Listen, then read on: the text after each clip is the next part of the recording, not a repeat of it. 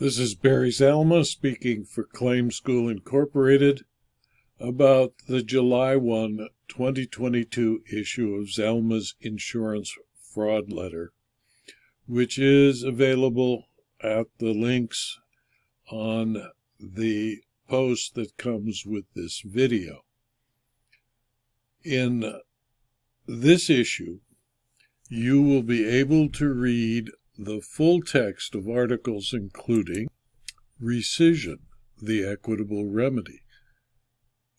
Rescission was an equitable remedy first created in the ecclesiastical courts of Elizabethan England.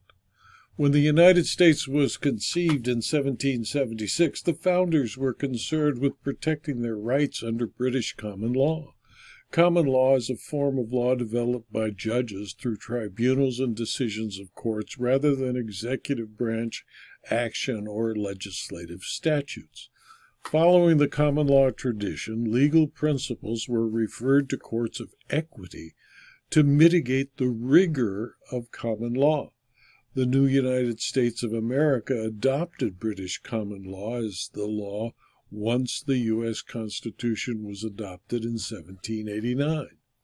British common law was only modified by the limitations placed on the central government by the Constitution. The viability and ability to enforce contracts was recognized as essential to commerce. Courts of law following the British common law were charged with enforcing legitimate contracts and rendering money judgments against the party who breached the contract. You can read the full article, uh, which will explain the bases necessary to uh, effectively rescind a policy of insurance. Then there's the article about another Florida insurance company going broke. Southern Fidelity Insurance Company entered receivership and is being liquidated according to the Florida Office of Insurance Regulation because insurance fraud seems to be rampant in Florida. And that's why Florida is also creating new statutes to help defeat insurance fraud. Then there's the article about a lawyer who admitted to insurance fraud and theft from his clients, was convicted of fraud and theft, and was then set up for disbarment, which for some reason was not instantaneous.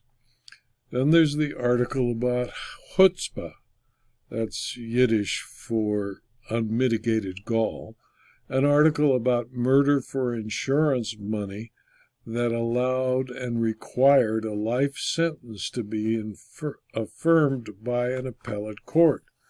When convicted of murder in the first degree and conspiracy to commit murder for life insurance money, the defendants require a great deal of chutzpah to file multiple appeals to reduce the or eliminate the life without parole sentences. In the latest effort, the People versus Lenny Peterson Galfate, the California Court of Appeals on June 9, 2022, wrote a detailed opinion discussing all of the arguments filed by the murderer, expending more time and paper than a convicted murderer had already appealed unsuccessfully to different courts that was not deserved. The full article will explain why and then there are, of course, the articles with good news from the Coalition Against Insurance Fraud, setting forth multiple convictions for insurance fraud. Then there's the article on health insurance fraud convictions, where multiple dozens of convictions are reported, including that Molina Healthcare agreed to pay over $4.5 million to resolve False Claims Act violations. Molina, in its previously owned subsidiary Pathways of Massachusetts, agreed to pay 4.625 million to resolve allegations that it violated the False Claims Act. by submitting reimbursement claims while violating several regulations related to the licensure and supervision of staff.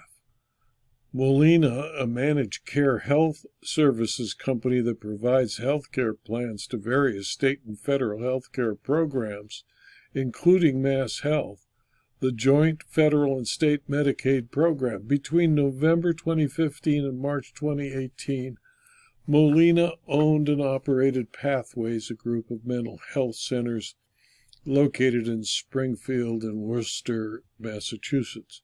During that period, the government contended that Molina and Pathways improperly submitted claims for reimbursement to Mass Health and care entities managed by Mass Health while failing to properly license and supervise mental health center staff, including social workers and psychological associates, and failing to provide and timely document the provision of adequate ethical supervision to clinicians requiring supervision.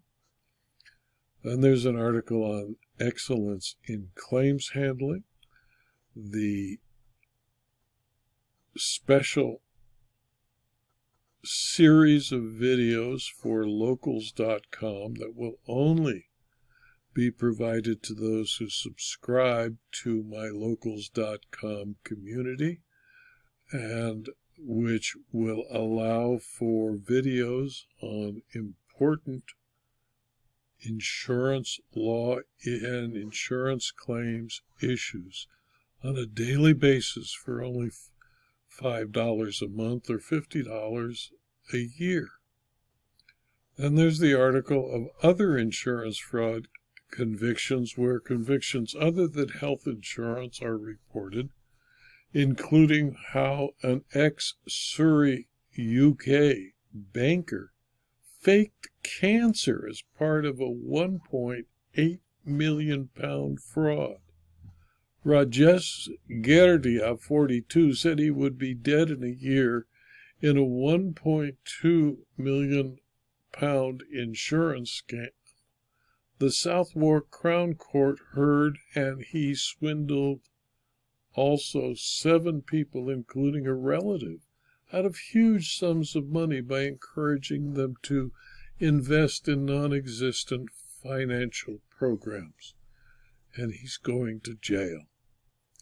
This video was created by me and Claim School Incorporated to explain to you the use of Zalma's insurance fraud letter and to encourage you to read the full newsletter. Thank you for your attention.